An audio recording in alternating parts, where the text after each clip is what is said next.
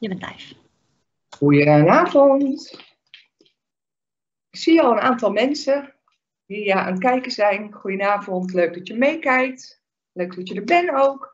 En als je via YouTube meekijkt of uh, de website, ook welkom natuurlijk. En uh, ik vertel heel vaak uh, van de bubbel. Jullie zullen het misschien tot vervelens toe hebben gehoord. Maar iedereen die meekijkt in de uitzending, of ik jou nou kan zien of niet, die, we zitten een soort van in de energiebubbel. En ik ga ervan uit dat elk kaartje wat ik vanavond uh, trek, dat dat uh, ja, gewoon past voor iedereen. Uh, dat iedereen daar wel wat uit kan halen. En we doen ook eigenlijk voor de vaste kijkers het stapeltjes maken. En dan hoor ik ook heel vaak van dat, ja, ik heb stapel 1 gekozen, maar 2 en 3 passen ook wel. Of 3 past wel, maar ik heb 2 gekozen. Dus ik, ik ga er altijd van uit, het is voor, voor iedereen en voor iedereen die meekijkt. En als je via YouTube zit en um, in, je, in je hoofd een, stapeltje kiest, dat telt net zo goed als dat je het hier in de, in de reacties zet. Dus ik ga daar altijd uh, helemaal van uit. Dat uh, ja, de bubbel is altijd dat je energie deelt met elkaar, of dat je verbonden bent met elkaar. En ik denk dat mijn collega's het ook zo ervaren, ook al noemen ze het misschien niet de bubbel, misschien is dat mijn uitdrukking, ik noem het de bubbel. Maar hè, misschien zeggen mijn collega's iets heel anders. Maar ik geloof wel dat het um, voor, voor al mijn collega's uh, in de uitzending wel gewoon geldt.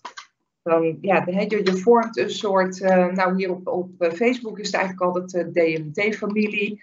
En iedereen die mee reageert. Dus mocht je mee willen reageren of iets willen zeggen of iets willen vragen, dan ben je echt heel erg welkom op, op Facebook. En ehm, ja, daar wordt uh, soms gewoon wat afgekletst ook, zie ik wel eens. En dan uh, zit ik zo eens even naar de... Ik ben gewoon in mijn verhaal en dan zit ik in de reacties te kijken dat uh, iedereen gezellig met elkaar aan het, aan het kletsen is. En ja, dat, dat is gewoon heel gezellig. Dus het, ja, wat dat betreft, ik doe dit al een tijdje, is het echt een soort familie. Ik kan niet anders zeggen als dat het een warm badje is. Waar je in terecht komt en waar ik toen de tijd in terecht gekomen ben en uh, ja, vandaar dat uh, mensen ook een beetje lekker blijven hangen. Ja, het is gewoon gezellig. Goedenavond, Sjaan. Leuk dat je er bent. Collega Moreen, leuk, leuk dat je er bent, lieverd. Ik zag even nog meer. Nee, nee. Alleen, tot nu toe alleen Sjaan en, uh, en Moreen. Moreen is mijn collega, die zit lekker op de lijn nu op, onder optie 1. Uh, te wachten op, jou, op jouw telefoontjes. Voor het geval dat ik uh, even niet bereikbaar ben of voor het geval dat je een andere vraag hebt. En natuurlijk is ook de sms staat weer open voor vanavond. Je, en dan sms je het woordje kaart en je naam. En dat mag ook een troetelnaampje zijn, koosnaampje. Je, je verzin iets ik hoef niet per se jouw naam te hebben. Ik kan me ook voorstellen, um, ook voor het bellen, als mensen bellen, want dat kan natuurlijk ook. Je kan ook in de uitzending bellen. En dan krijg je mij direct te spreken, dan kunnen we met elkaar praten. En dan hoef je ook niet je naam te zeggen. Want um, ja, ik heb jouw naam in principe niet echt nodig. En ja, eigenlijk ook gemerkt dat uh, via de sms dat, dat die energie ook gewoon overkomt. En ik blijf mij toch altijd verbazen vind het altijd heel verbazend hoor. Ik, ik weet dat energie, of je nou in Australië zit of, of waar dan ook zit, um, energie, uh, ik hoor dat natuurlijk, ik heb zelf ook een reiki uh, gedaan. En ook uh, mijn masterdiploma gehaald. Dus dat betekent dat je ook reiki op afstand kan geven. En dat je ook reiki op afstand kan ontvangen, uiteraard. Dat kan iedereen, daar hoef je geen reiki voor gestudeerd te hebben. iedereen kan dat ontvangen, maar Um, ik, ik heb healings ontvangen inderdaad letterlijk uit Austra Australië. En dat komt dus net zo goed aan als um, of je nou naast me op de bank zit, bij wijze van spreken. En, en natuurlijk blijft dat altijd wonderlijk. Natuurlijk, het is een soort van logisch van hè, energie is energie en het gaat in, uh, in golven. En uh, dat gaat, wat mij betreft, gewoon door het universum, door de lucht, naar iedereen toe.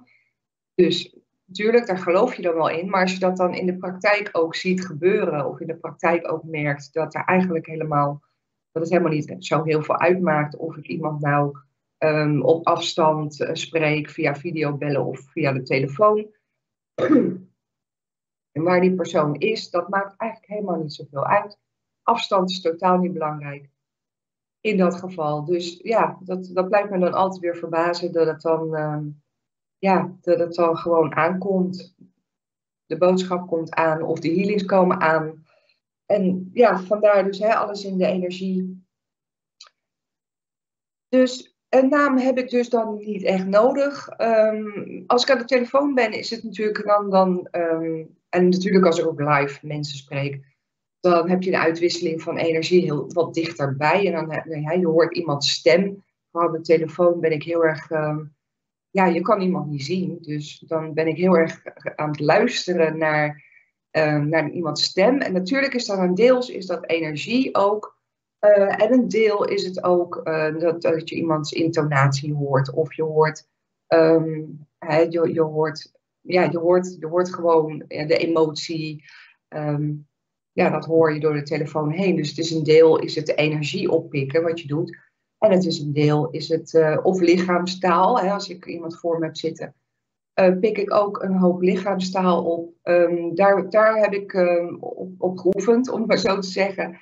Uh, in mijn opleiding voor therapeut hebben we heel erg geoefend met, um, ja, met, dat noemen we rapport, maar dat is een mooie term voor contact maken. in, in, spirituele termen noem je het verbinding maken, in spirituele termen noem je het een energieuitwisseling. Maar in de therapie uh, jargon noem je het een rapport maken. En dat betekent zoveel als dat je natuurlijk stem je af op iemands energie, maar je stemt ook, je, observeert iemand, uh, in iemands lichaamstaal. En dat kan zo ver gaan als hè, niet alleen. Um, in principe communiceren mensen altijd. Ook al zeggen ze helemaal niks. Maar je lichaam uh, communiceert altijd. Uh, je ogen communiceren altijd. Eigenlijk communiceert alles. Als je niks zegt. Want we denken heel vaak communicatie is over woordjes. Hè, woordjes die je tegen elkaar zegt. En dat is eigenlijk maar 7% van de, van de communicatie. 7% is, is verbaal, dus met, met woorden die je tegen elkaar zegt. En die andere uh, procent, 93%, die is um, non-verbaal. Dus met andere woorden, dat is je uitdrukking, je gezichtsuitdrukking, je stem inderdaad. Hè. Je kan soms, ik heb bijvoorbeeld, als ik, uh, nou heb ik wel eens vaker, hè, dat, dat ik dan ineens een kikker in mijn keel, nou heb ik ook wel eens gewoon kikkers van mezelf hoor. Um, maar het gebeurt wel eens als mijn keel echt helemaal dichtknijpt. Of hè, als er dan iets met emotie speelt, dat dan ineens um, mijn keel dichtknijpt. En soms kan ik dan ook niet eens meer iets zeggen. En dat heeft dan vaak met de collectieve energie te maken. Dus dat kan dan zijn dat er in de collectieve energie. Um, dat er emoties spelen of dat er dingen niet uitgesproken worden of die, hè, die eigenlijk hier een beetje blijven hangen. En dan voel ik dat dus in mijn keel. Dus het is ook een stukje, um, ja, laten we dat maar heldervoelendheid noemen. En um, als ik live met mensen werk, dan kijk je naar het totaalplaatje. Dus je kijkt ook naar uh, iemands houding, je kijkt naar de oogopslag, je kijkt naar uh, de huids, huidskleur in de zin van hey, iemand krijgt ineens rode konen, blozen natuurlijk, is daar gewoon één goed voorbeeld van. Maar bepaalde emoties kunnen dus of dat iemand wit wordt of dat iemand ja, um, dat, het, dat de toon verandert of de huidtoon verandert, dat daar iets te zien is. Um, en al die dingen, dat zijn dus nog niet eens de lichaamsgebaren. Of hè, kijk, als iemand helemaal zo gaat zitten, dan hè, iedereen kan dat wel een beetje aflezen van wat voor wat van houding. Of je hebt het gewoon koud. Dat kan ook. Ik zit ook vaak zo omdat ik het gewoon koud heb. Maar als iemand echt heel zo, hè, dan is dat vaak dat ze zichzelf willen beschermen en dat ze zichzelf willen afsluiten voor dingen. Of ze hebben het gewoon koud. Maar meestal zie je aan het gezicht ook wel dat er, weet je, um, um, dat er iets meer speelt. Hè? Dat iemand echt heel erg gesloten is op dat moment. Of dat iemand zich geraakt voelt of zich wil beschermen of wat dan ook. Dat zijn hele opvallende uh, dingen. Maar sommige lichaamstaal is echt super subtiel. Dat moet je maar net, uh, moet je maar net uh, oppikken, zeg maar. Dus ja, dat is eigenlijk een beetje hoe zo'n energieuitwisseling voor mij in ieder geval gaat. Sjaan zegt ook, ik heb vrienden in Bali reiki mogen geven. Echt, en ja, zie je? Ja, maakt niet uit hè, of ze op Bali zitten of niet. Totaal niet belangrijk. Ja, mooi is dat hè? Ja. Ja, dat blijft mij dus altijd verbazen. Dus dat die energie toch wel overkomt. Hè? Of, je nou, of je nou daar heel, ja, wat, wat afstand nou is. Of ja, blijft leuk. Dus ik heb voor vanavond heb ik ehm, eigenlijk gewoon de klassieke tarot bij me. Ja, waarom niet? Ik ga gewoon weer met klassieke tarot. Maar dit is wel een andere versie. Nou heb ik hier een lamp staan, omdat ik anders uh, zit ik in het donker hier. En dan zien jullie mij niet zo goed. Ehm, dus de kleuren zijn een beetje flauw. Ik ga het nu al zeggen, uh, als je ze in het echt ziet, dan zijn ze eigenlijk best wel heel uh, mooi ingekleurd. Ik denk dat ze ook digitaal zijn ingekleurd, dus uh, via digitale, via de computer zijn ingekleurd. En het is eigenlijk de klassieke tarot in een, ja, anders ingekleurd, laat ik het zo zeggen. Misschien een beetje digitaler gemaakt. Daar zijn heel veel versies van, want ik heb nog zo'n versie in de kast staan. Die is weer heel anders ingekleurd. Um, ja, ik heb wel eens vaker uitgelegd hè, dat die Smit Tarot, die, is, die wordt op dit moment heel veel keren opnieuw vormgegeven, uitgebracht.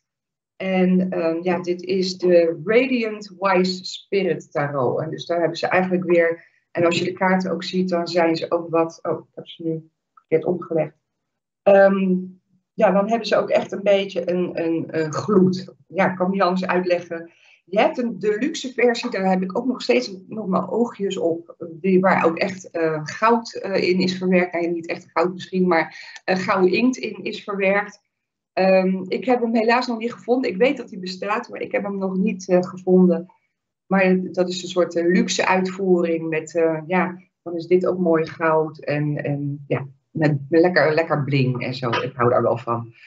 Dus mocht ik hem tegenkomen, dan, dan ja, dan uh, komt hij waarschijnlijk uh, vanzelf in mijn kast te staan, een keer. Dus, maar dit is een uh, ja, wat, wat luxere uitvoering, of een wat anders ingekleurde uitvoering dan het origineel.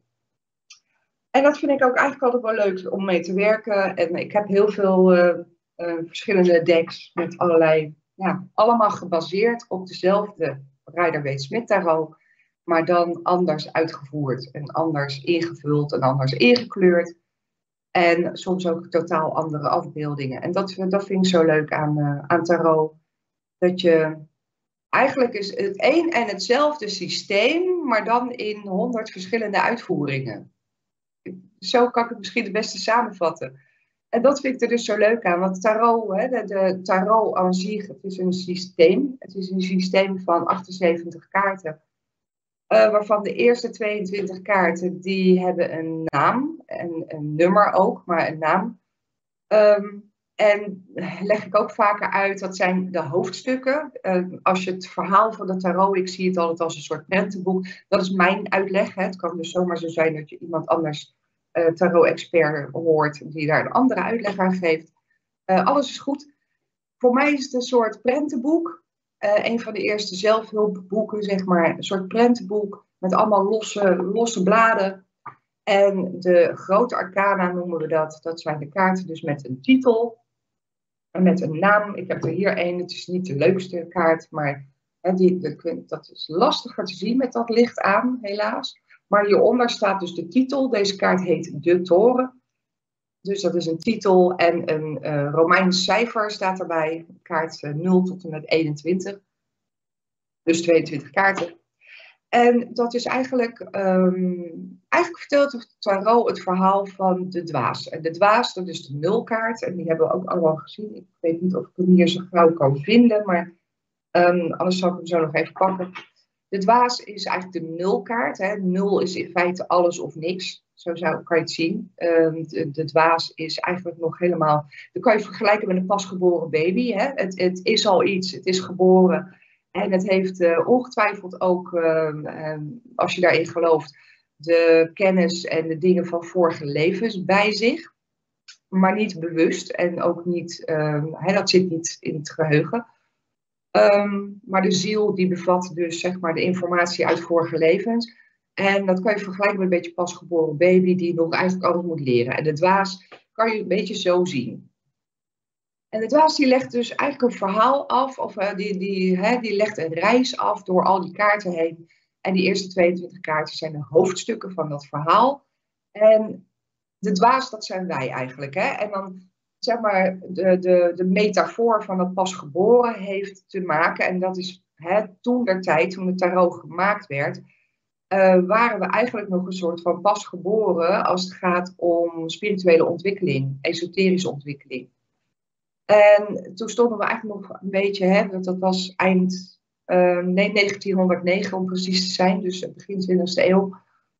Uh, stonden we eigenlijk nog in de kinderschoenen van het ontdekken van het spirituele, ontdekken van het occulte. En occult betekent in dit geval simpelweg um, um, verborgen kennis. Occult betekent verborgen.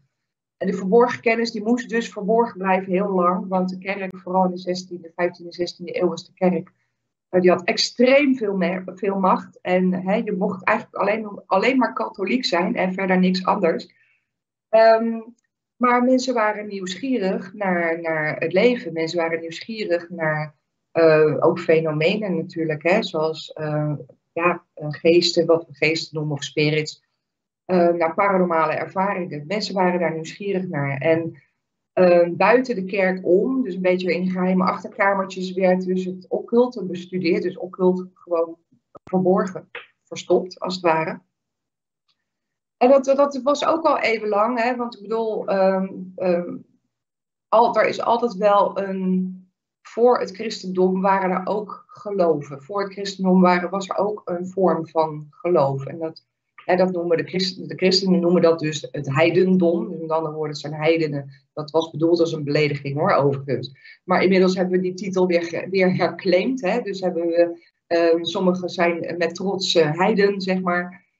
Um, en die geloofden in, in de dondergoden, zoals uh, Donar en Wodan en of in onze gebieden, in onze westerse gebieden, maar in, in Rome en bij de Grieken geloofden ze in Thor en in um, de Griekse goden.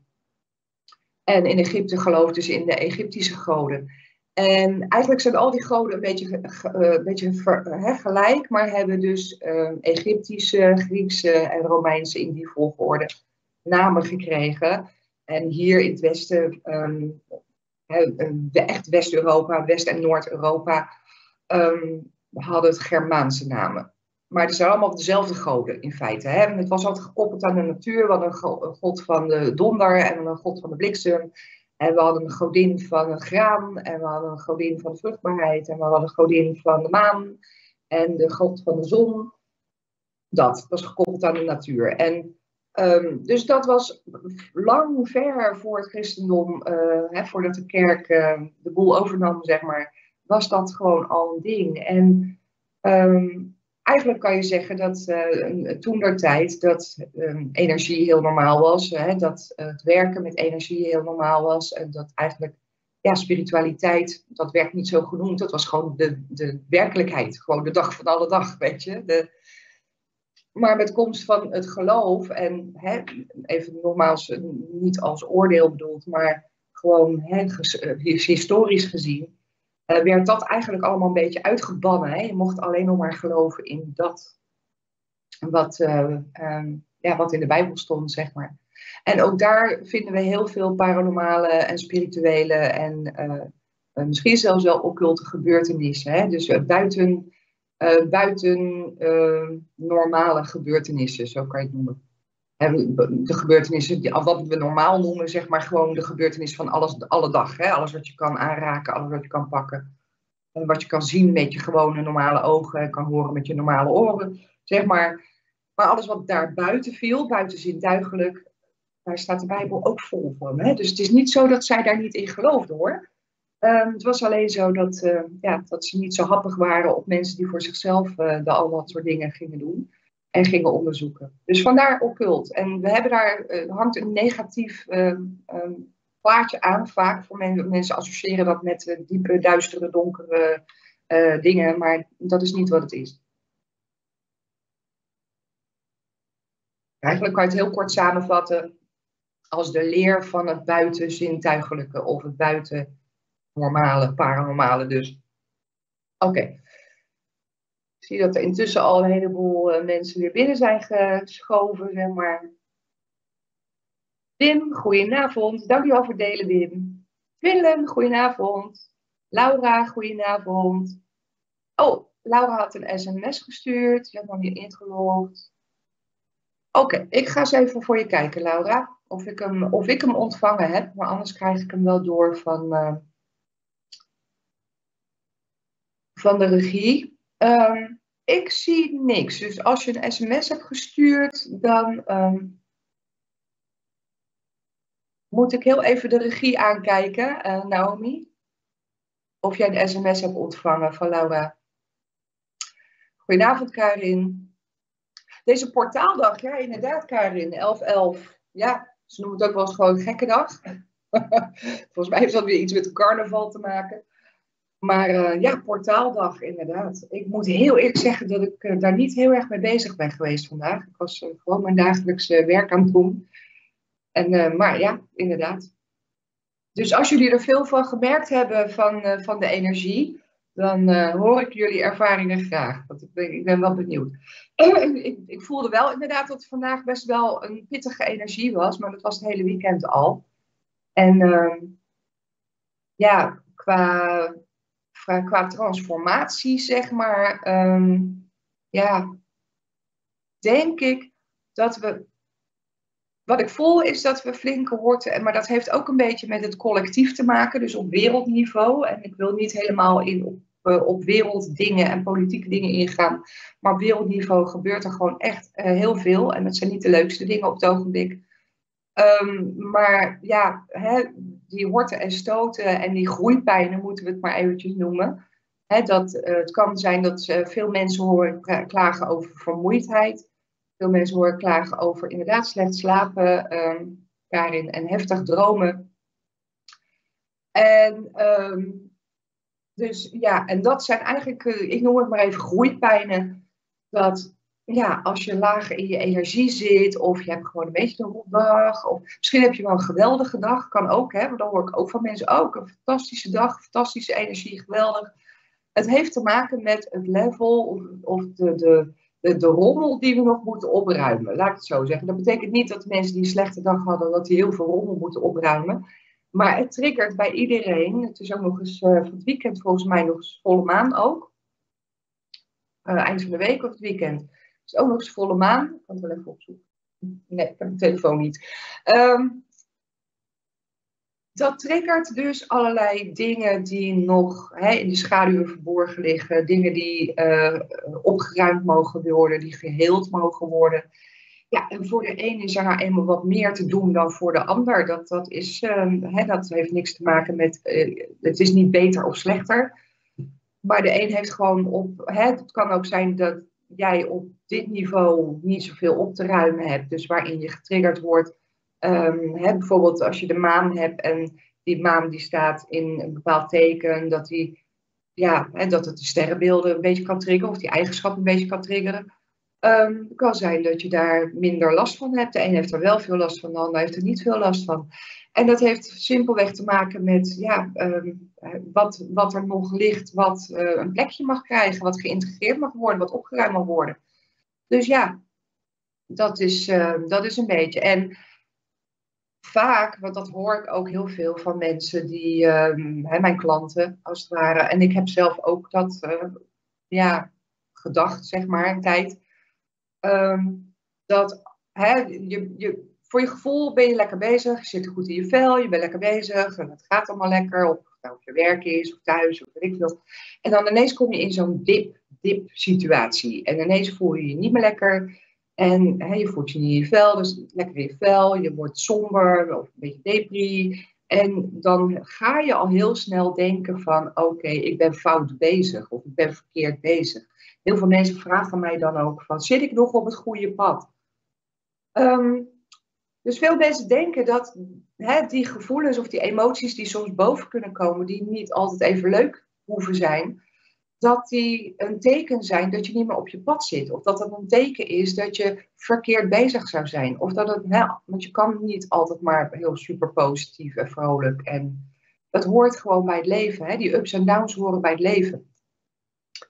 En natuurlijk is het zo, hoe meer je hebt opgeruimd en hoe stabieler je zelf in je eigen vel zit, hoe minder die ups en downs echt, hè, dat dat vermindert op een gegeven moment wel. De pieken worden, nou ja, laat ik het zo zeggen, de dalen worden steeds minder diep. Ik hoop dat de pieken nog wel hoog blijven, want dat is, uh, Dat zijn de fijne dingen, zullen we maar zo zeggen. Ehm, maar de dalen worden gewoon steeds minder heftig. En mensen denken vaak dat ze dan een soort van opnieuw moeten beginnen, of dat ze terug bij af zijn, of die raken ontmoedigd of teleurgesteld. En vooral mensen die echt um, um, bewust bezig zijn met creëren en manifesteren, die raken dan ontmoedigd van, oh ja, maar ik moet positief denken, of ik moet positief voelen, of whatever.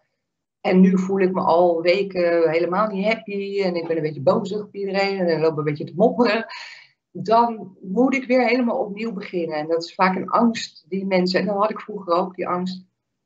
En eigenlijk zijn het groeipijnen. Je kan het zien als groeipijnen. Dat als je slechte dagen hebt, en misschien zelfs al slechte weken hebt, dat betekent dat je aan het opruimen bent in jezelf. Hè? Want dan komen er ook vaak gedachten boven, herinneringen boven. Soms denk je voor de mensen die wat langer geleefd hebben, die dan denken van ja, jeetje, dat hebben we toen toch gehad. We tien jaar geleden komt ineens een herinnering van, van 20, 30, 40 jaar geleden naar boven. Maar daar was ik toch al klaar mee.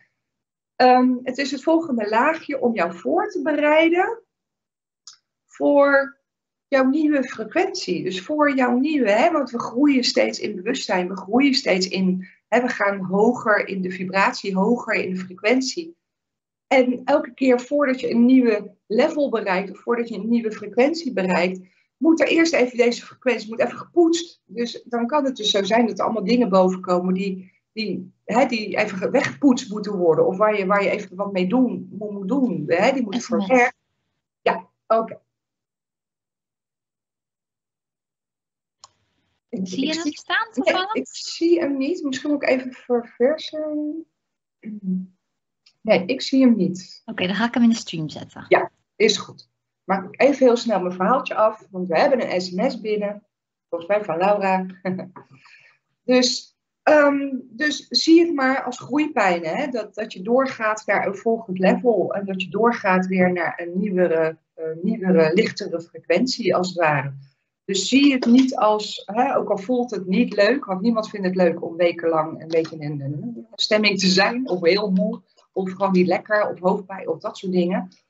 Um, niemand vindt dat leuk. Niemand. Ik ook niet. Ik ben er geen bal aan. Maar als je weet van, hé, hey, ik ben aan het voorbereiden voor de volgende, hè, voor de volgende stappen, voor de volgende, het volgende proces van creatie of een manifestatie, of hè, ja, dat, jou, dat je elke keer een stapje dichter bij je dromen komt, of een stapje dichter bij je creaties komt, dan kan je het een beetje op een andere manier gaan zien. En dan wordt het ook wat lichter weer voor je. Oké, nou, ik uh, ga even naar de sms. Ik heb een sms. Wanneer verandert mijn leven? Bijvoorbeeld een leuk stage, werk en andere dromen. Oké, ik ga eens even kijken. Nou, grappige vraag. Ik was al aan het schudden, maar ik moet, ik moet nog even een keer schudden. Ik uh, trek drie kaartjes voor je. Heel even op aan het in, uh, inzoomen, zeg maar.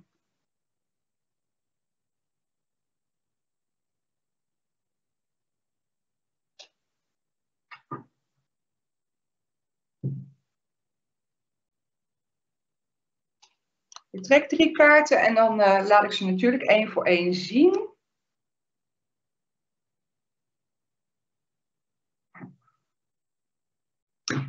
Oké. Ik ga heel even uit van een, um, een, een verleden, heden, toekomst. Want dat is een beetje wat ik in de kaart zie. Van oké, wat, wat heeft er gespeeld? Uh, wat is er gaande op dit moment? En wat, hoe ontwikkelt zich dat? En in dit geval zie ik een kaart die iets uh, zegt over. Dus de drie van pentakels. De drie van pentakels die zegt iets over samenwerkingen, uh, dingen opbouwen. En de drieën in het tarot, dat zegt eigenlijk, uh, we noemen het structuur. Hè? Je, je bouwt een structuur. En in dit geval heb je dan drie punten. Dan bouw je als het ware een, een driehoek. Hè? De vorm die erbij hoort is een driehoek. En die vorm ga je steeds meer uitbouwen. Dus je kan het een beetje zien als de fundering van een huis. He, je, je, legt, je legt de fundering en die moet wel goed stevig staan. Wil je daar een goed huis op kunnen bouwen. En in dit geval heb ik heel erg het gevoel van. Um, ik denk dat het gaat over het nabije verleden. Dus ik heb het niet over lang geleden, ik heb het over recent. Dat jij um, eigenlijk heel erg aan het bouwen bent zeg maar, aan, jou, uh, aan jouw toekomst. Hè? Je bent bezig met creëren en manifesteren. En je bent, uh, laten we zeggen, je hebt de basis gelegd. Je bent bezig om de basis te leggen. Ik heb het gevoel dat de basis nog niet helemaal goed ligt. Met andere woorden, um, hè, de fundering. Ik snap dat je snel vooruit wil. Hè? We willen allemaal snel vooruit.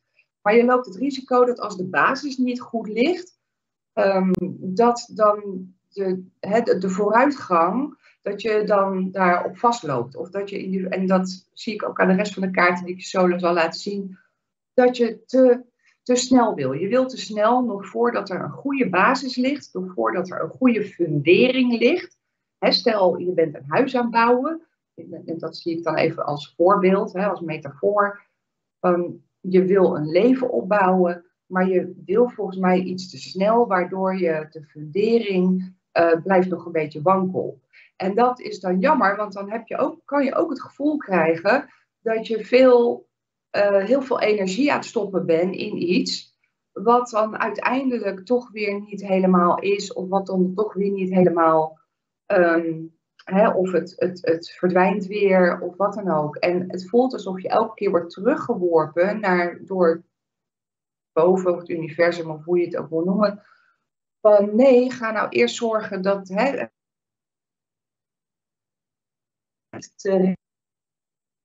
ga eerst goed die basis leggen voor jezelf. En zorg ook dat jij zelf daar goed bij zit, in jouw eigen basis. Want ik heb ook heel erg het gevoel dat het een stukje um, energie is van um, dat je moeite, nou laat ik het zo zeggen, je hebt misschien moeite om te aarden. Je hebt moeite om hier op aarde te manifesteren. En dat is veel bij mensen die heel gevoelig zijn. En vaak bij mensen die heel erg, um, zeg maar, een beetje, ik noem dat dan, een beetje boven hun lichaam zweven. En dat heeft te maken vaak met dat we het moeilijk vinden om hier op aarde te zijn. Met andere woorden, het voelt alsof jij weerstand hebt om echt daadwerkelijk hier jouw roots neer te leggen. Echt je wortels neer te leggen. Zo komt het over. En dan heb je dus ook veel moeite om je leven op te bouwen. En dat is, hè, dat is het recente verleden, of misschien ook wel wat langer terug. Want als ik nu kijk naar wat er nu gaande is, dit is eigenlijk ook altijd een waarschuwing. Hè? Het is nooit een, een vast, hè? het is ook niet zo dat jij een duiveltje bent, absoluut niet, integendeel zelfs. Um, de duivel, dat is eigenlijk een kaart die ons een beetje verleidt, tot, hè, die ons eigenlijk afleidt ik heb het gevoel in jouw geval dat het afleiding, dat je veel wordt afgeleid. En dat je wel, um, zeg maar, hè, je, hebt, je hebt heel veel ideeën, je hebt heel veel plannen, je bent volgens mij ook hartstikke creatief. Um, maar je wordt ook heel snel afgeleid. Dus met andere woorden, je bent bezig om die basis te bouwen en dan uh, komt er weer iets voorbij. Of iemand vraagt weer jouw aandacht. Of je, hè, je, je, bent weer nodig ergens anders. Want ik heb ook het gevoel dat er mensen aan jou trekken. Ik weet niet of dat misschien ook je werk is. Um, of dat dat hè, is wat je wil gaan doen. Maar ik heb het gevoel dat er mensen aan jou trekken. Dan word je dus weer afgeleid.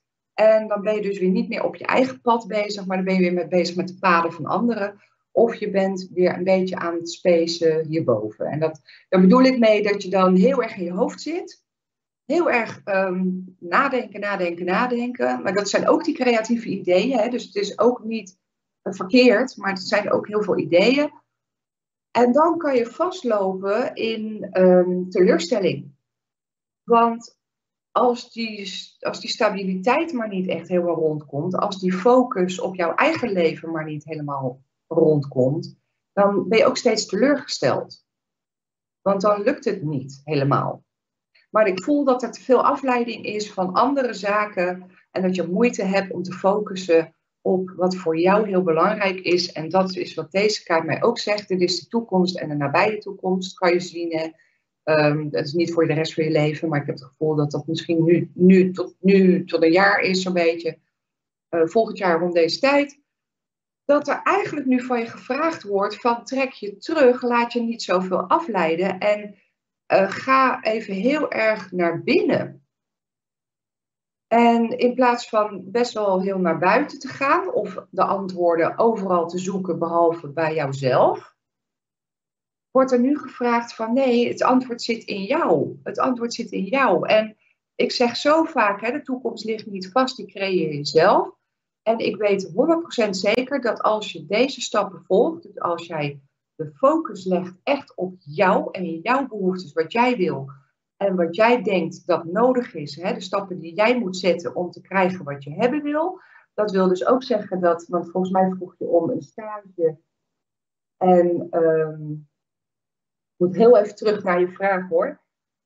Een leuke stage, werk en andere dromen. Ja, nou, dat, dat is eigenlijk, hè, je hebt dus een heleboel dromen, een heleboel ideeën, een heleboel plannen en een heleboel doelen. En dat is prima. Maar dat wat het tegenhoudt op dit moment is jouw constante afleiding. Is constant, uh, het constant buiten jezelf zoeken. In plaats van echt, en ik weet uit ervaring hoe lastig dat is. Hè? Want ik ben zelf ook een beetje zo'n uh, zo'n type die heel snel afgeleid is. En ook heel, veel, heel creatief is en al heel veel ideeën heeft. Um, maar ik weet uit eigen ervaring dat dat dus niet werkt. Ik heb dit stukje dus ook moeten leren. Dus vandaar dat ik nu tegen jou zeg van trek je terug en laat even uh, de buitenwereld even buiten. En ga heel erg focussen op wat wil jij. En je weet wat je wil, want je zei al een stage, je werk en je hebt andere dromen. Dus dat vind ik al een goed teken. Dus je hebt al bepaalde doelen, heb je al. Maar weet je heel concreet wat dat is? Wat, wat is die stage dan? Wat zou je dan precies voor stage willen hebben? Wat is die baan dan? Wat voor baan zou je willen hebben? Dat moet je helemaal gaan uitwerken voor jezelf. We schrijven desnoods allemaal op dat in de kleinste detailtjes. En doe dan stappen zetten. Maar laat je niet meer afleiden door anderen. En de meningen van anderen. En de ideeën van anderen. En de dromen van anderen. Want als jij niet bouwt en werkt aan je eigen dromen dan gaan andere mensen jouw dromen voor je invullen. En ik heb zo het gevoel dat dat in het verleden gebeurd is en dat je daarom het idee hebt dat je een beetje vastloopt. Want ik zeg niet dat jij nooit je dromen en je doelen hebt bereikt. Maar volgens mij heb je al gewoon knetterhard gewerkt en dan heb je al heel veel bereikt. Alleen nu op dit moment voelt het zo, ja, de fundering ligt nog niet helemaal goed. Dus ga dat even goed op zijn plek zetten en dan weet ik zeker dat je voor jezelf alles kan bereiken wat je wil bereiken. Maar ik voel wel de creatieve energie en de gedrevenheid en de passie. En weet je, als je dat in goede banen kan leiden, als je dat echt gewoon heel concreet hier op aarde vorm kan geven, letterlijk, kan kneden en in de vorm kneden die jij hebben wil, dan kan jij alles. Dan kan jij alles, maar laat je niet zo afleiden. En misschien moet ik ook zeggen van vertrouw op je eigen uh, dromen, vertrouw op wat jij wil. En laat maar even los wat andere mensen daarvan vinden. En eerlijk gezegd zou ik niks meer vertellen aan andere mensen van wat jij wil. Want ik heb het idee dat je best wel een soort ambitieus bent en bepaalde ideeën hebt.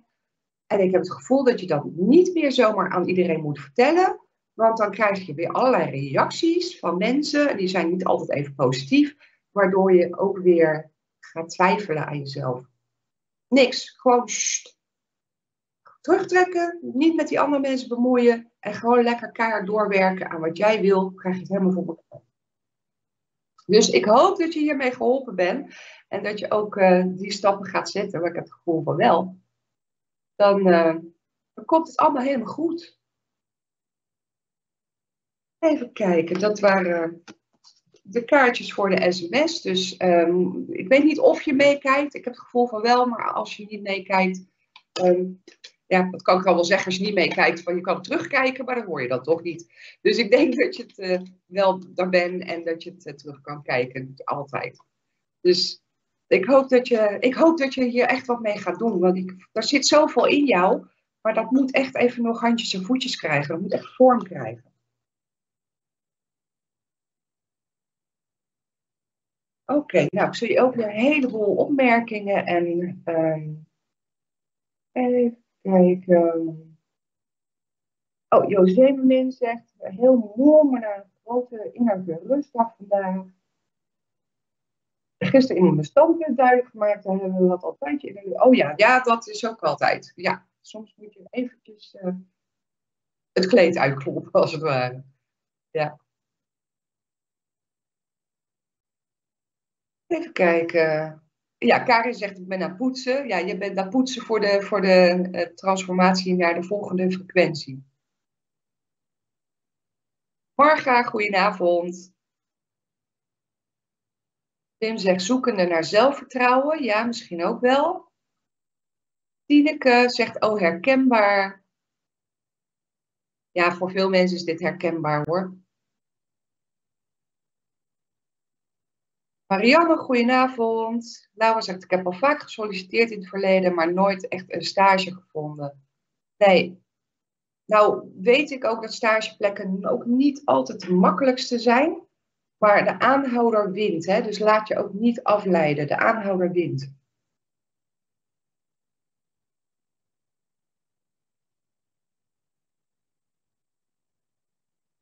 Karen zegt, mooi consult, ook ik herken veel. Ja. Ja, ik ook hoor, ik herken dat. En dat is ook zo'n dingetje volgens mij ook van, van die hooggevoelige en uh, ook spiritueel gevoelige mensen. Die hebben ook, hè, doordat we van die sterke antennes hebben, waardoor we heel veel dingen oppikken en heel veel dingen voelen, worden we ook heel snel afgeleid. Heel vaak afgeleid. En misschien um, ja, moet je soms een beetje die antennes een beetje dempen. Of, hè, want dan, dan raak je soms ook een beetje jezelf kwijt. En dat is. Uh...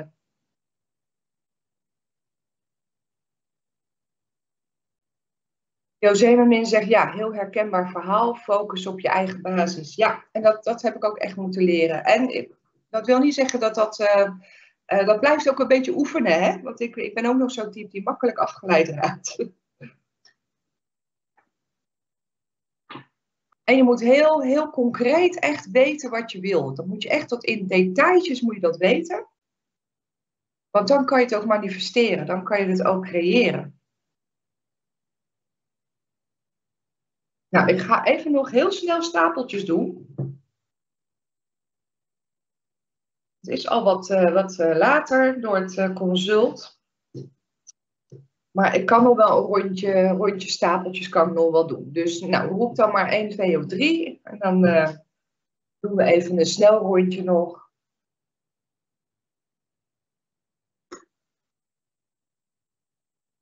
Karin zegt, ik zit in mijn kokon. Het is echt nodig. Ja. Dat is ook de tijd van het jaar hoor. Ook de tijd van het jaar. Dat je een beetje de neiging krijgt om, uh, om in je kokonnetje... Het is tijd voor de winterslaap eigenlijk. Maar ja, we moeten gewoon door. Hè? We moeten allerlei dingen doen. Nou ja, we moeten op zich niks, maar ja. Maar soms denk ik wel eens, nou, lekker winterslaapje. ik, heb, ik heb een heleboel stapels 2, dus ik ga lekker bij stapel 2 beginnen. Oh, supermooie kaart. Even kijken. Oh, ik, uh, iedereen kiest twee vandaag. Ik heb één, één, iemand die één kiest. Quillen kiest voor drie. De rest kiest allemaal voor stapel twee. Dus nou, dan gaan we dan lekker beginnen. Ik heb hier een mooie kaart uit de grote arcana. Dus dat uh, ja, is een van die hoofdstukken. En ik leg het in het begin van de uitzending al uit. Hè. De dwaas die gaat op reis. En de dwaas, dat zijn wij eigenlijk. Hè. Wij zijn een beetje, we beginnen allemaal een beetje als een dwaas. En ja, hè, doordat we dus door die hoofdstukken heen reizen en daar dus heel veel dingen leren en hè, al die uh, thema's, uh, al die hoofdstukken hebben thema's. En dit is eigenlijk het, een beetje het eind van, um, van die hoofdstukken. Dus uh, onder alle hoofdstukken vallen dus ook de hofkaarten en de kleine arcana kaarten. Dat kan je echt hè, als groepen en hoofdstukken en alinea's zien. En dan zijn we eigenlijk een beetje aan het eind van het, uh, van het verhaaltje gekomen, bijna, want dit is uh, kaart 20. En dat is de ene laatste kaart uh, voordat de wereld komt. En bij de wereld kunnen we het boek dichtslaan, in feite. Dan, of in ieder geval kunnen we een, een, een boek dichtslaan. En dan gaan we weer heel vrolijk door naar het volgende hoor, want dan begin je weer lekker opnieuw bij de dwaas.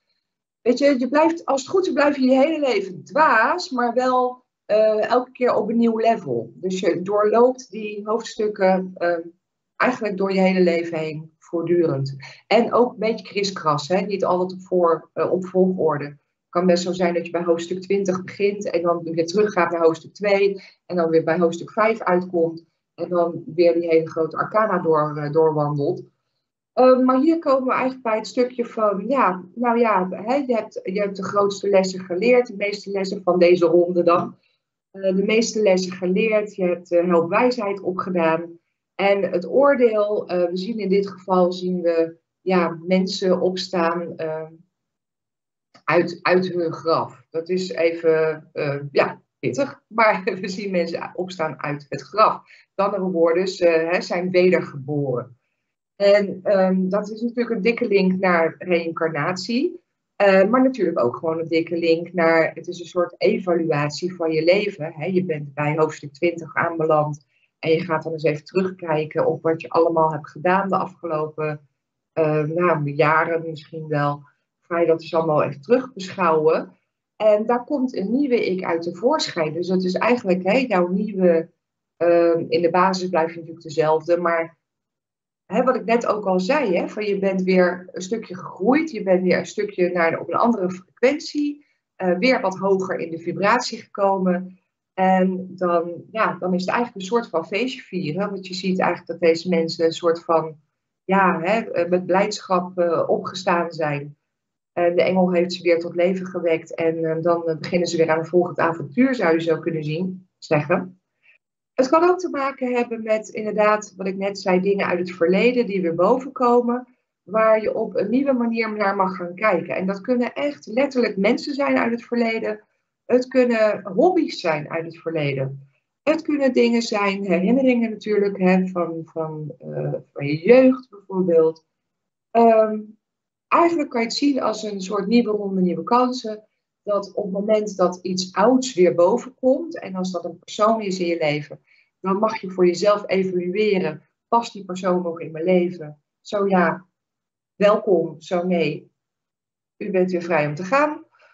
Um, en dat je het eigenlijk opnieuw. Het voelt een beetje alsof je de zolder op gaat ruimen. En je al die oude dozen met allemaal oude meuk die, die je jaren verzameld hebt. En dat je die dozen openmaakt en dat je alles bekijkt. En dat je dan gaat kijken naar: oké, wat wil ik houden? Wat mag uh, naar het grof vuil? En wat wil ik eventueel doneren? een beetje zo'n energie is het. Dus de evaluatie van eigenlijk van alles wat je hebt meegemaakt. We zitten aan het eind van het jaar. En dan ga je ook evalueren van uh, hoe is het afgelopen jaar geweest? Hè, heb ik mijn doelen bereikt? Um, heb ik dingen niet bereikt? Waar lag dat aan? Hè, wat, wat ik heb beleefd, dingen die je hebt ervaren. Uh, misschien heb je een fotoboek van het afgelopen jaar, dat je dat eens doorbladert. Misschien ben je iemand die een dagboek bijhoudt, dat je een beetje terugbladert en kijkt van, oh ja, hoe was het ook alweer? Of dat je in je agenda gaat terugbladeren van, oh ja, toen heb ik dit gedaan, toen heb ik dat gedaan. Want ja, we vergeten ook vaak dingen.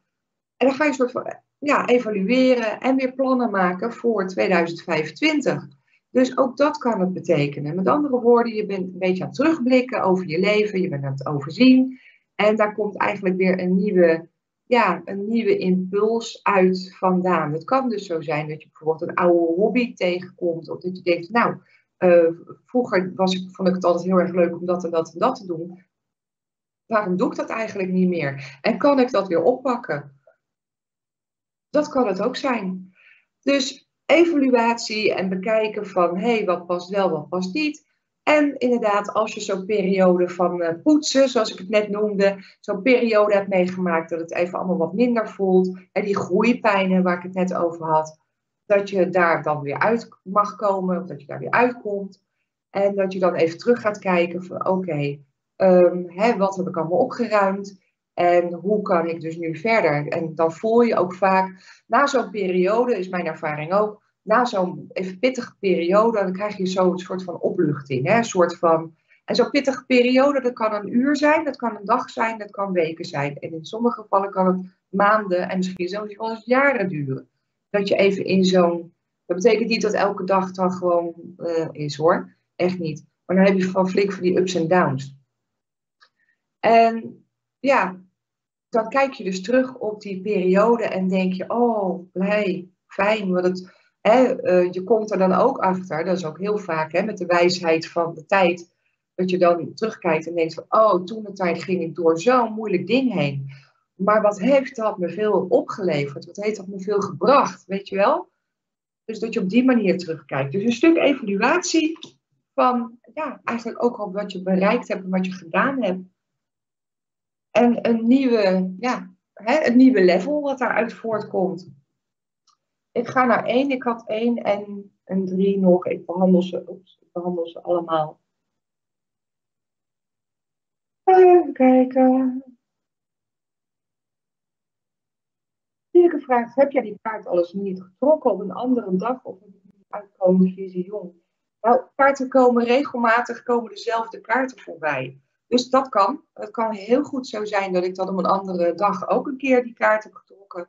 Want ja, kaarten die. Uh, het kan zelfs zo zijn, als je voor jezelf kaarten legt bijvoorbeeld, dat je uh, wekenlang dezelfde kaart uh, trekt. En dan misschien niet elke dag, maar dat die regelmatig terugkomt en terugkomt en terugkomt.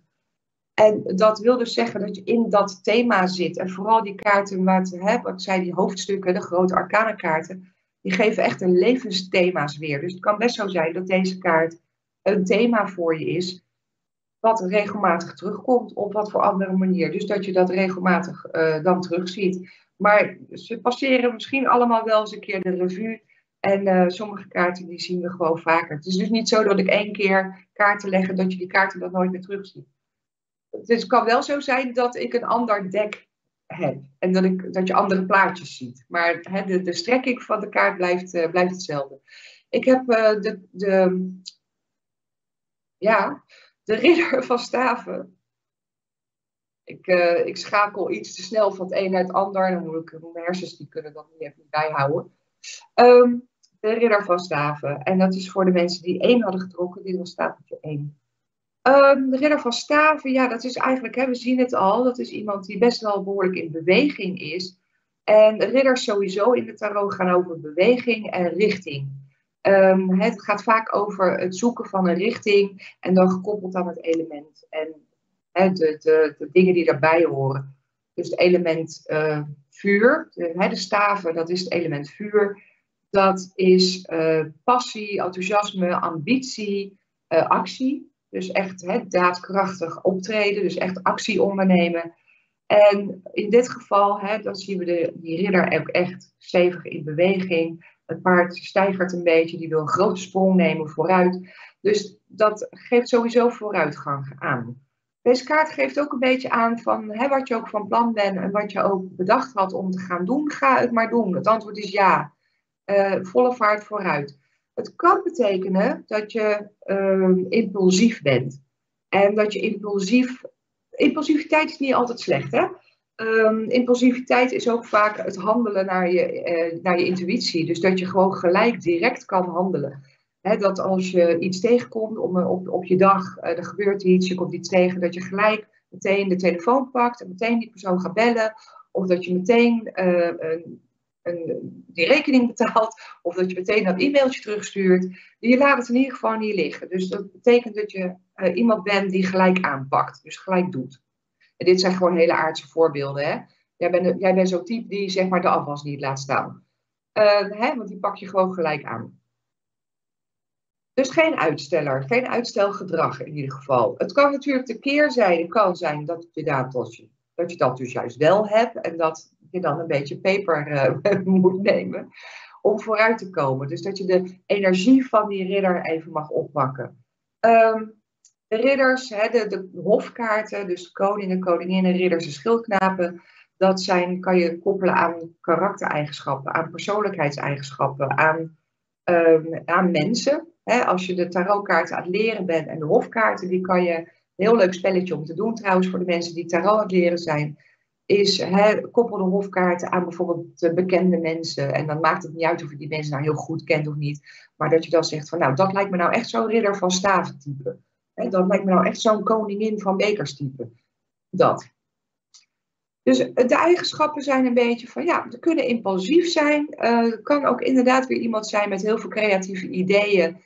Um, die ook, wat ik eigenlijk net een beetje zei in, die, uh, in dat consult van, uh, dat je lekker afgeleid, dat je veel ideeën hebt, dat je, dat je ook een beetje alle kanten opspringt. Hè? Dat dus dat de energie niet altijd gericht is op je doel, maar dat je een beetje, uh, hè, dat, je kan je voorstellen dat dat paard een beetje op hol slaat en dat het paard, uh, als je hem niet stuurt, het paard, ja, dan gaat hij gewoon overal heen waar het paard heen wil. En meestal daar waar het paard heen wil, is meestal niet waar jij heen wil. Want, ik heb zelf een paard gehad, dus ik weet dat uit ervaring. Dus je moet dat sturen, zeg maar. Wil dat paard de kant op gaan die jij wil. Met andere woorden, je moet je ambitie, je passie, je enthousiasme, moet je sturing geven. Je moet een richting aangeven. En dan is het best als je lekker snel gaat, hartstikke leuk. En best ook als je hè, soms impulsief wil zijn, maar hou wel de teugels in handen en stuur dat paard. Want anders lig je zo in de sloot, hè? Waar gebeurt verhaal? Hier hebben we nog er zo een, voor de mensen die uh, drie hadden. Stapeltje drie. Um, de ridder van zwaarden. En ook dit is zo'n snelle jongen. We zien hem gelijk echt zo eh, daarop afstuiven, zeg maar. Uh, de zwaarde staat echt voor um, je denkvermogen, dus de mentale stukken. Dus het kan zijn dat jij een hele snelle denker bent. Hè? Dat kan zijn dat je, um, dat je ja, razendsnel met ideeën komt, of dat je razendsnel met inzichten komt, of, um, en dat, dat, hè, dat je dat ook uitvoert. In dit geval is dit ook een beetje een uitvoerder, als het ware. Um, deze ridder kan een beetje zo roekeloos zijn. Dus ook die moet de teugels goed hebben, want anders gaat dat paard, en stuift hij er vandoor. En nogmaals gaat het paard leuker wat voor zichzelf doen. Dus um, ook hier is een beetje aandacht geboden van dat je gedachten niet met je weglopen. En je kan honderdduizend ideeën hebben, is leuk. Je kan een heleboel inzichten hebben, is leuk. Maar als je het zelf niet meer bij kan houden, als er zoveel gebeurt in dat kopie, dat je er eigenlijk ook weer niet echt richting aan kan geven, dan stuift het je ook allemaal voorbij. Dus het kan zijn dat je, ja, hè, soms zeggen ze ook wel eens van je moet langzaam gaan om snel vooruit te kunnen. Dat klinkt heel gek, heel tegenstrijdig, maar het betekent soms ook een beetje pas op de plaats en denk even goed na voordat je erop afstuift. Um, dus ook communicatie, kaart voor communicatie. Ik zei net al heel veel over, over uh, non-verbale communicatie. Maar in dit geval kan het ook echt de communicatie, die, uh, de woordjes die uit je mond. Uh, dit kan iemand zijn die behoorlijk snel en scherp kan reageren op dingen. Heel ad rem dus ook. En dat is niet altijd even handig. En in sommige gevallen moet je echt even heel erg nadenken voordat je iets stoms zegt. Um, ik ben zo iemand. ik flap soms dingen eruit. Ik denk van, oh, misschien moet ik even nadenken voordat ik stomme dingen zeg. Dus dat kan het ook betekenen. Dus hè, wees niet te haastig in je oordeel, wees niet te haastig in je, in je spreken. Um, neem even de teugels terug, even rustig aan. Want in principe kan je ook, hè, de zwaarden geven ook creatiekracht aan. Dus je kan, je kan je doel ook bereiken, ook als je niet hals over kop als een uh, jekko gaat, zeg maar.